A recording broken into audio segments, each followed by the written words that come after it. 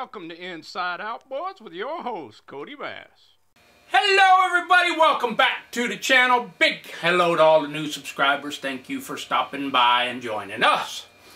Okay, so I finished up that little Cody.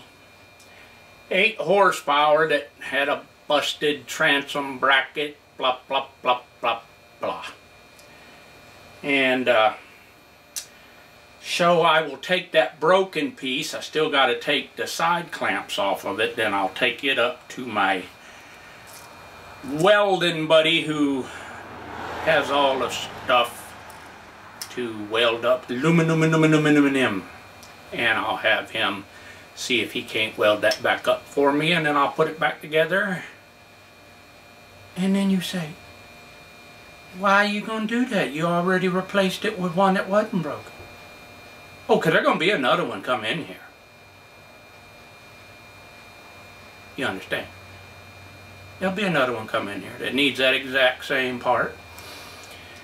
So I'll have that one welded up, put it all back together. Out in them parts pile.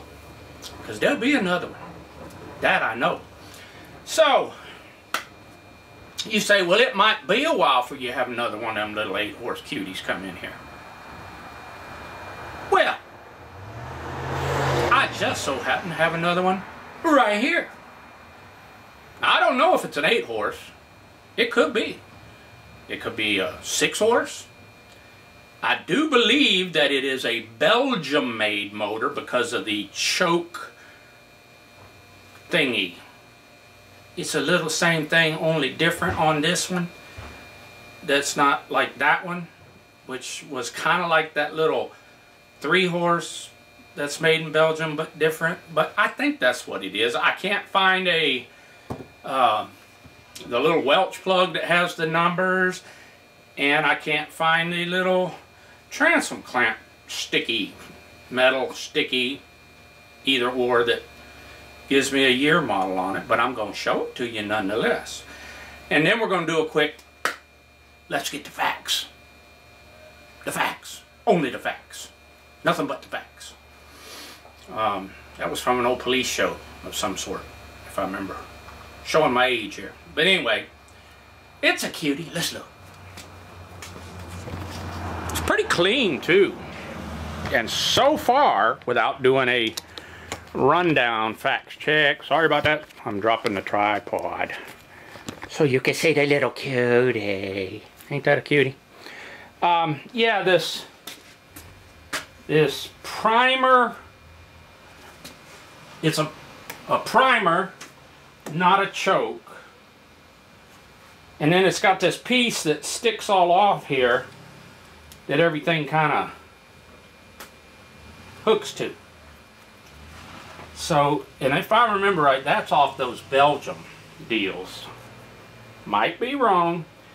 But in here normally is one of those metal aluminum plugs that tell me the model number or it's generally right here or sometimes flat right there and I'm not seeing one there's looks like there used to be a sticky. It's kind of discolored over here, but I, I can't be sure that's where it was either. But it tells you right here, mix it 100 to 1. Wrong. Never, ever, never, ever. Don't do that. And if you're doing it, stop. 50 to 1. So, I don't see no identification on it. So, um, it's either a 6 or an 8, I'm guessing. Maybe a 6. But the throttle handle's all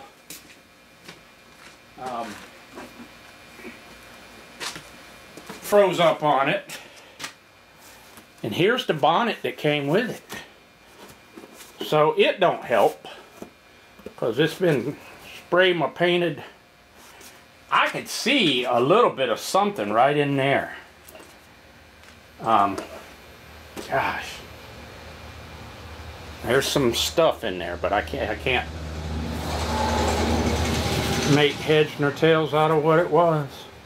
Is not was is. So that's the hood. But the like I said, the throttle cable here is froze up. Um, so I can't move that in and out. But I can move it here, but it's a little sticky there too, but not real bad, I guess. Uh,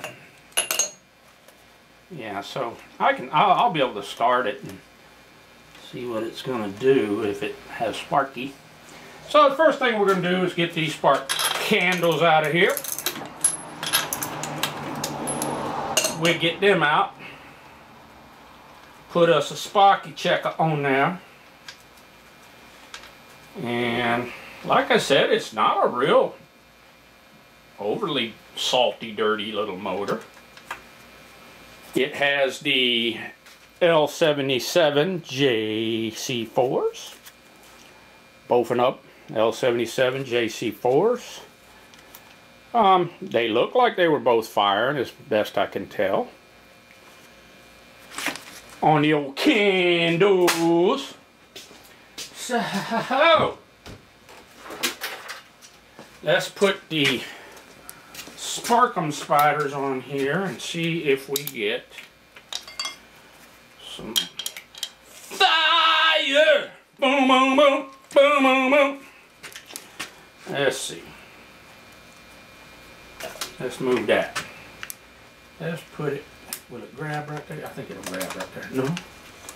Gotta find a place for the old clip to grab. And let's see. So, which two is it? Which two? Which two? Gosh, I can't even tell. I can't even tell. So it's those top ones right over there. That should be showing us some. Right here. I think.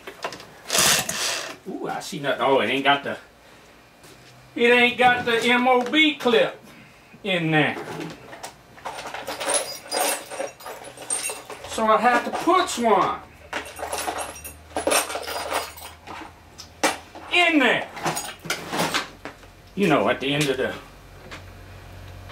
at the end of the tiller handle here. Let's see now. I got one in there.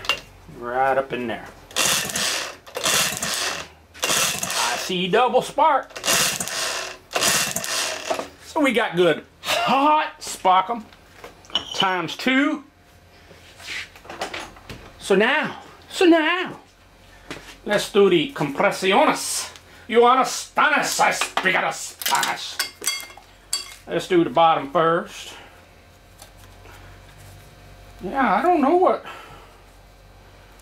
horsepower this little engine is.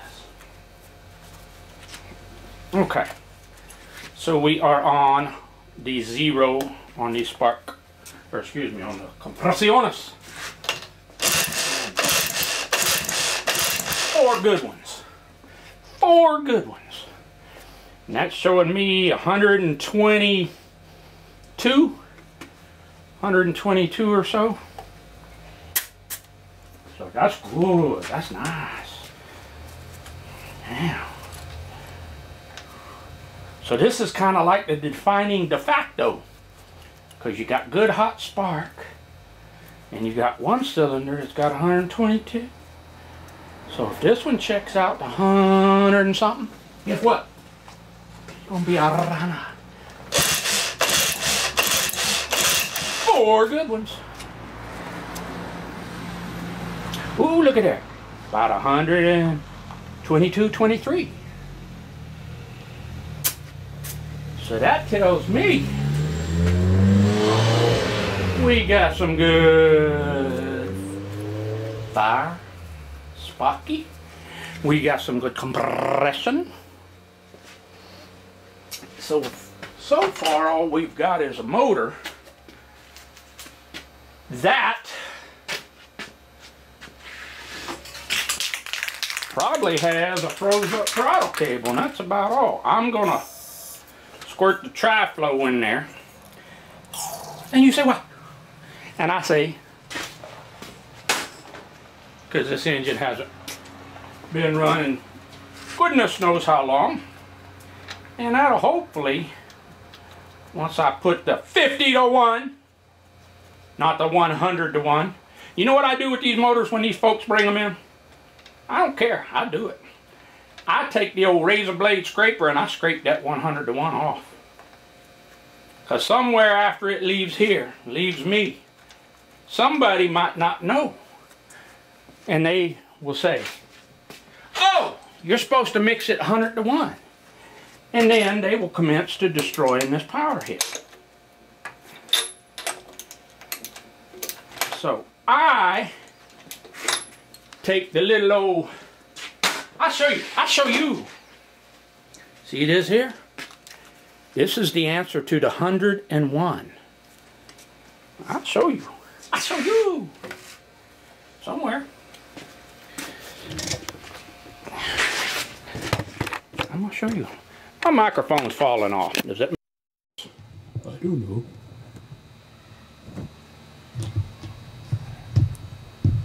See that?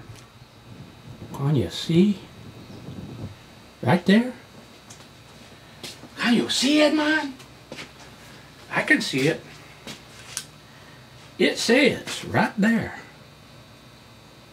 100 to 1. And what I do is I take this and I go and I make that say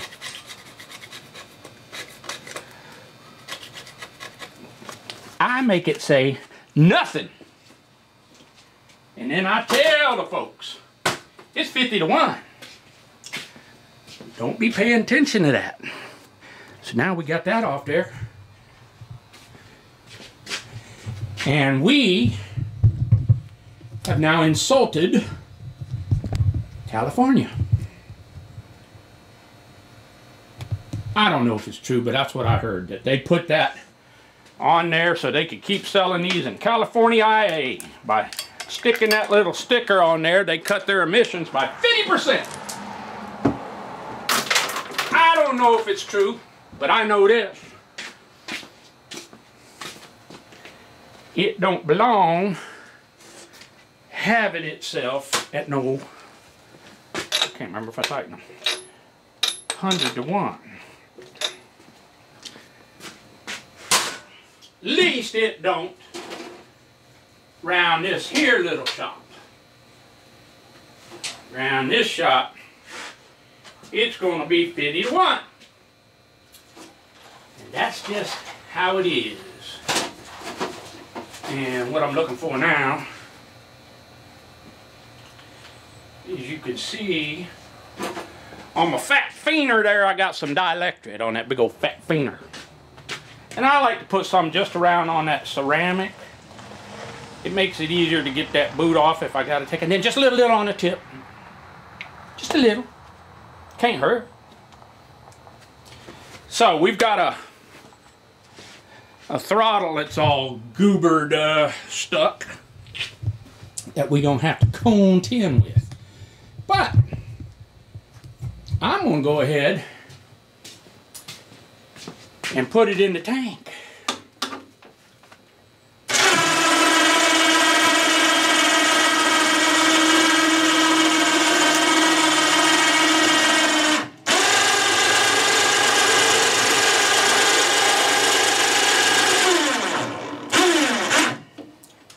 Somewhere right in there.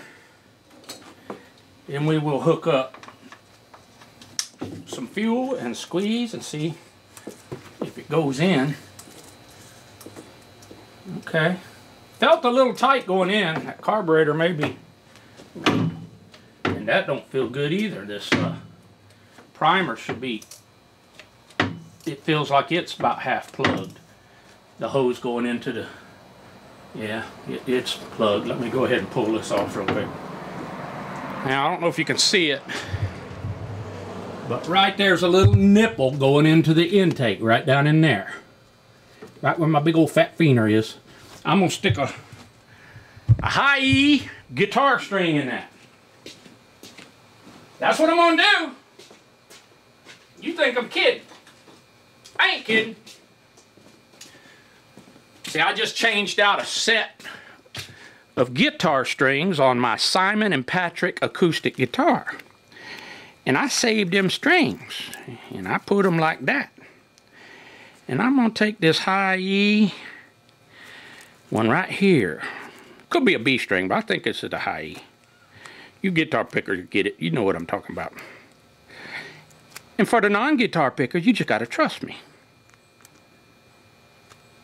Well, anyway, I'm going to see if I can get my little needle noses, my needle noses, and take this string. I, I like this one right here, actually. Boy, these needle noses ain't very good. They won't even clamp on it. And I'm going to see if I can stick that down in there. Because I do believe that is plugged up. Because I didn't feel... Tell you what I'm going to do. Pull that thing completely out of there. Pull that guitar string out of there. I was hoping with these longer strings I could get down in that. Let's see. There we go. Yep, she's plugged, definitely. Well, let me get a bigger guitar string. Come here, you.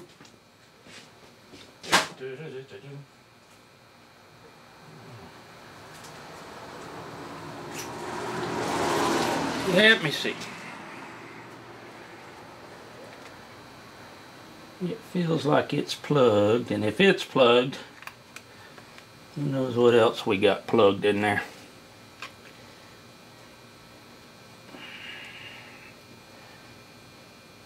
There. Got it in there. Now let me take my needle nose and reach down in there and see if I can't unpluggish that.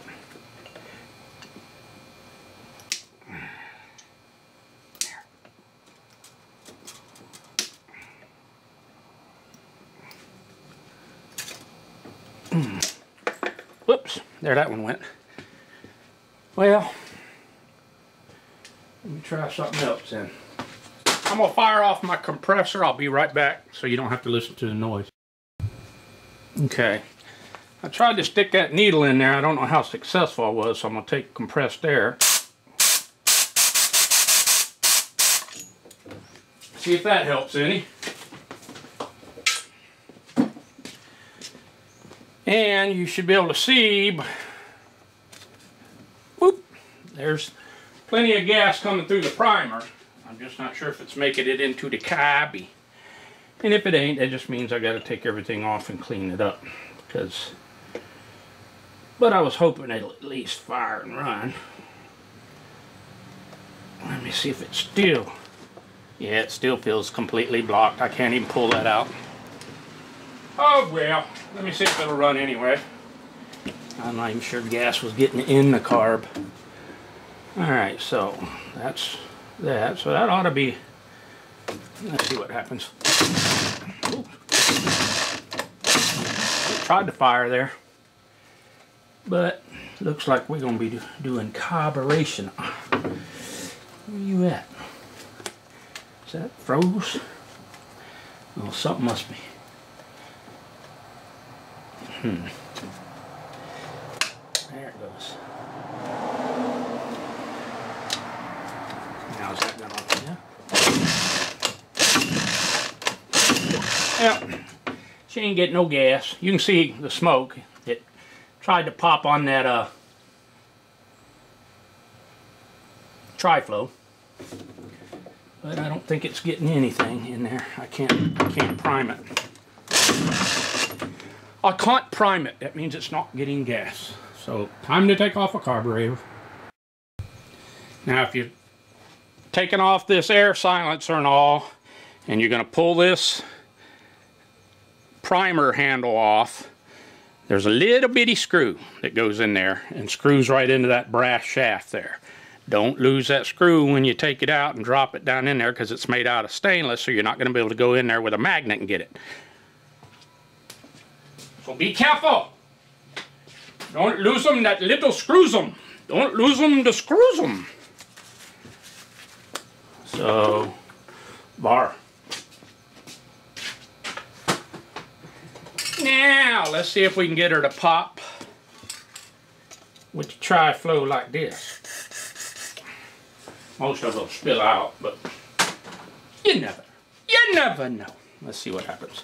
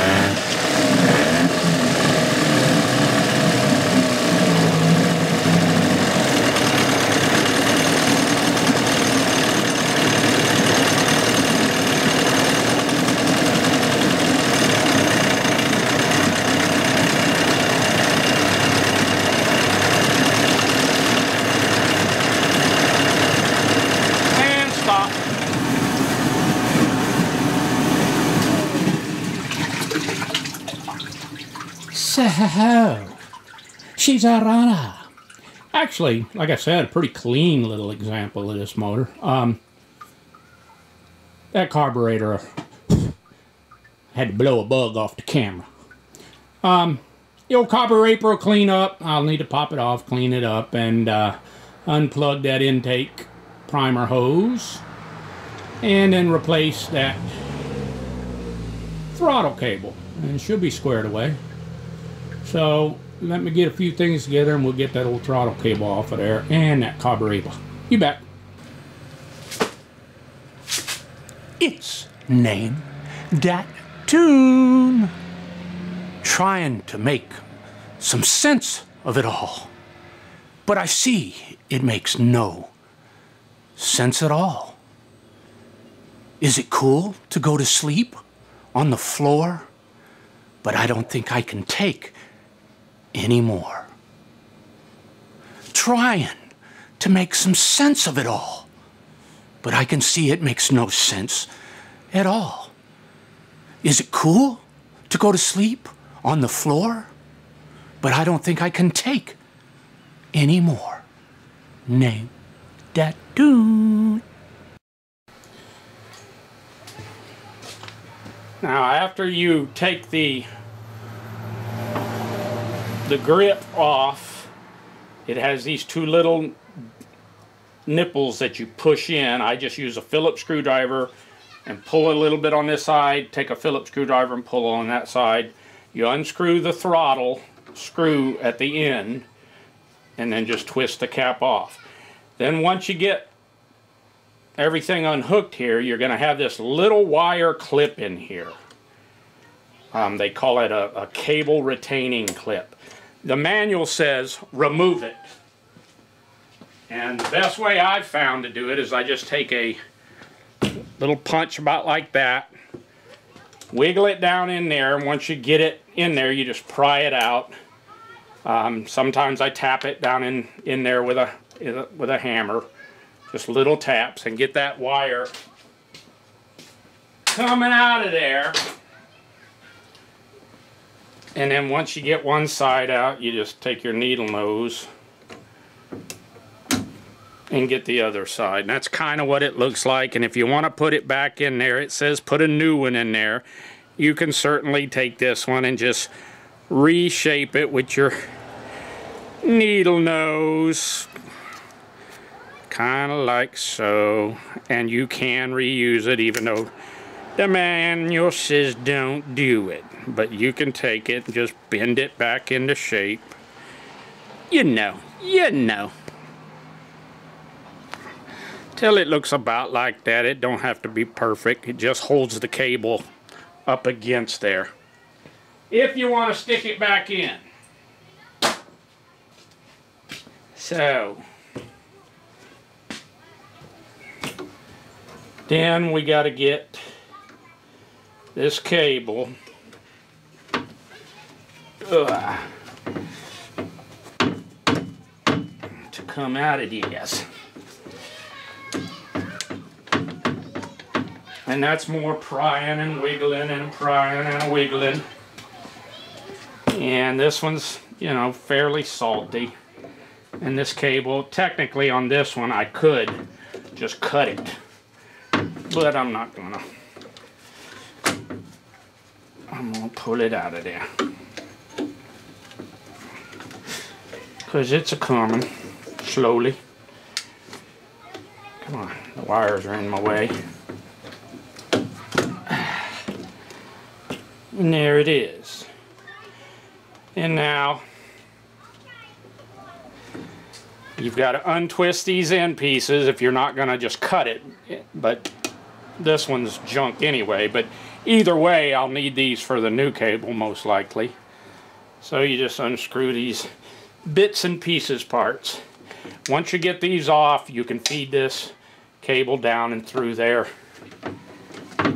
and it comes out up under there and once you get the fat pieces off you can just feed it out there but like I said if you're you know if you're you're doing this job chances are your cables froze or ruined and broke so you can just snip it off and pull it out of there a lot easier which is what I'm gonna do and I'll be back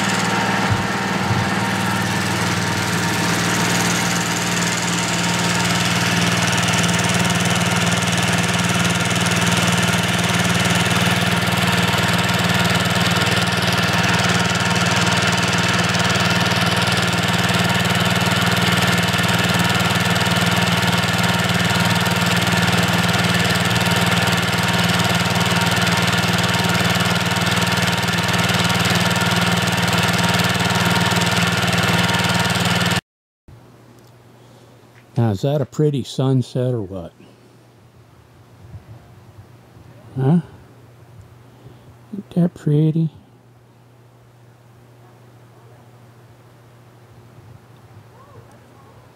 Yeah, it's a pretty sunset.